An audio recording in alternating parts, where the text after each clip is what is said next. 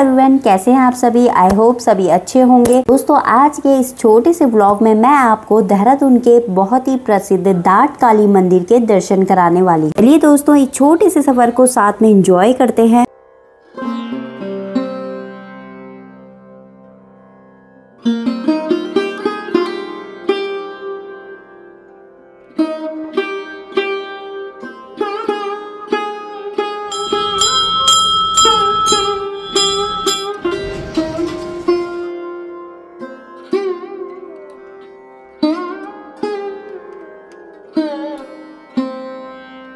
Thank you.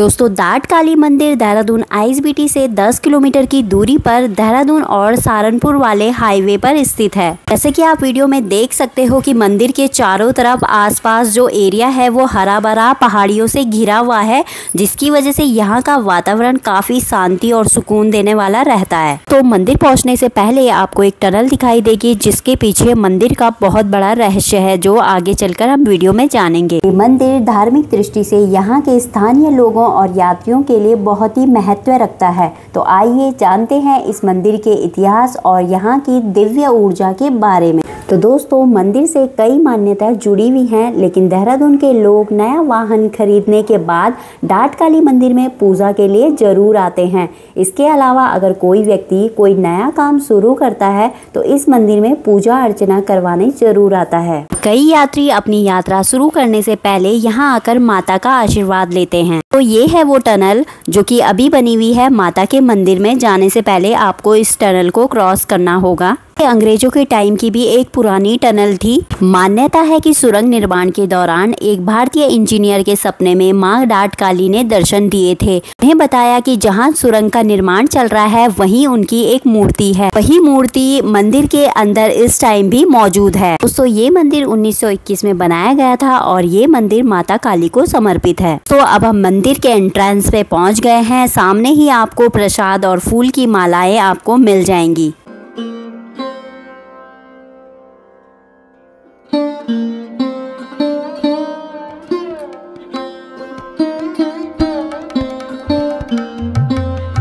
यह माता का मंदिर नहीं बना था तो उससे पहले सुरंग बनने में बहुत ज़्यादा अड़चने आती थी। लेकिन जैसे ही यह मंदिर बना, उसके बाद माता रानी की आशीर्वाद से टनल का पूरा काम हो गया था। मंदिर के बाहर साइड में ही आपको शू रैक भी मिल जाएगा, जिसमें आप फ्री में यहाँ पे अपने सेफ्टली शूज़ रख सकते हो।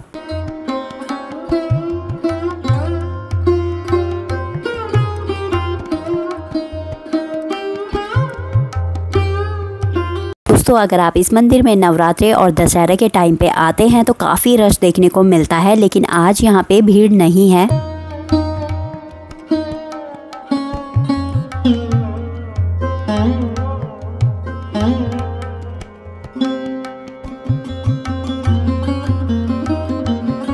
तो दोस्तों, ये है मंदिर का गर्भगृह जहाँ पे सामने ही आपको काली माता की एक मूर्ति दिखेगी। माता के इस मंदिर में आपको 200 सालों से जलती आ रही है, ये अखंड जोत वो सामने ही आपको दिखाई भी देगी।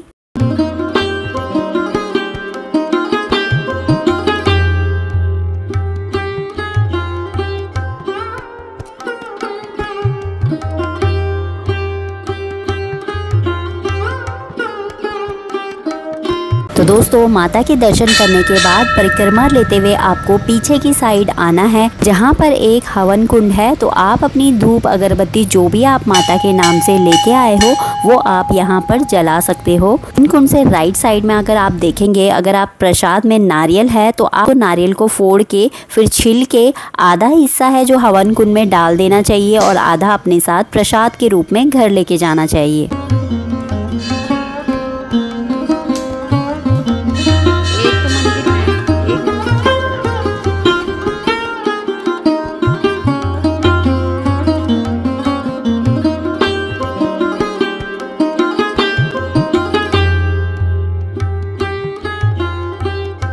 हवन कुंड से थोड़ा सा आगे चलेंगे तो आपको दुर्गा माता की बड़ी सी मूर्ति दिखाई देगी। आपको वहाँ पर भी आशीर्वाद लेना है, साथ में वहाँ पे गणेश जी की भी मूर्ति रखी हुई है।